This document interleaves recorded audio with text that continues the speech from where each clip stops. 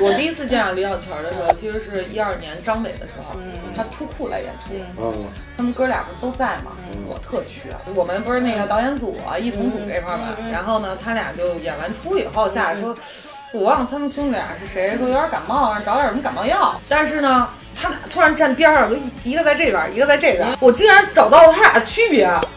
给才找到啊！不是一对双胞胎，然后我看着说，哎说，我说你们哥俩长得挺像的，然后他俩看着我特别尴尬，说，嗯嗯，巧了，我们俩是双胞胎，太巧了，我不知道为什么从那之后我就分不出来了。哎，然后我现在分别他们俩，看眼神儿吧。不是分别他们俩，就是唯一一点就是他哥见着我没有任何反应，就是嗯，说话都是李小泉儿。他家人哟，丽雅你来了，就是特别热情的，就是一定是他。你哪单位的？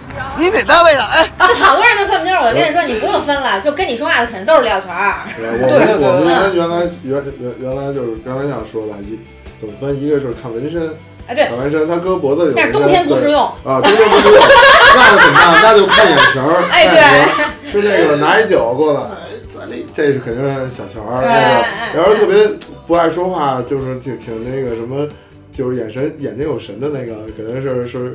那就是他哥小川儿。那咱是偷偷乐的那。但是你知道我有时候都认错过，我就嗯我那时候认识小川儿好几年了，有一次在 school，我还以为是那个小泉儿在呢，我说哎，一会儿你来了，然后小川儿一回头，特冷静是吧？我是小川儿，我是小川儿啊，我说小川儿在那边儿呢啊，我说